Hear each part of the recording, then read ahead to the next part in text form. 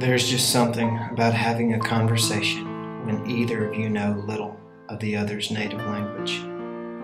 There's just something about playing ball with that one little boy in the field.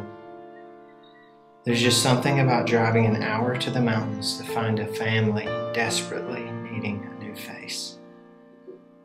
There's just something about receiving food from a family that has absolutely nothing. There's just something about playing silly games with kids all.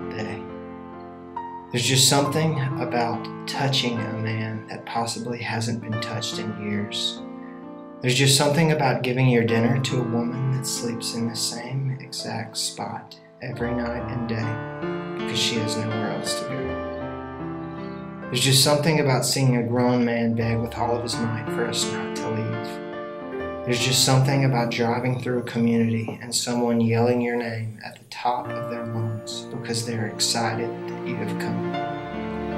There's just something about praying over a man that hasn't been able to walk in years.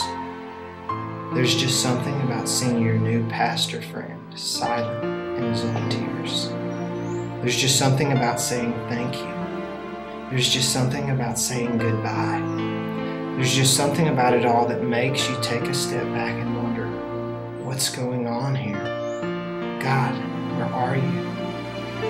Have I done what I came to do? After much thought and prayer, I've witnessed one month the fact that there's just something about finding joy in pain, hope in affliction, glory in trial, peace in chaos, much and little, and abounding thankfulness when there's absolutely nothing else to rely on. That is what sets a heart on fire. The answers to those questions were answered a long time ago, in one place, an empty tomb.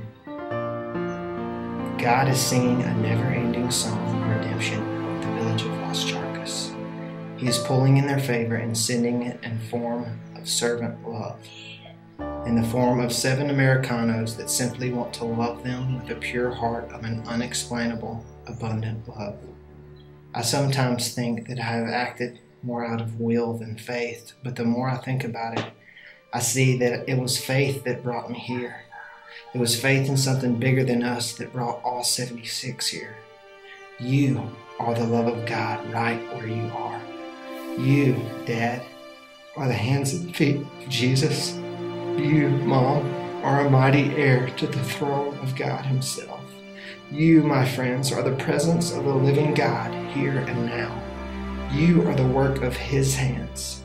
You are more than conquerors. You are the warriors that Scripture talks about. You are more powerful than anything this world can slam down. You bring heaven to earth. You are the will of God.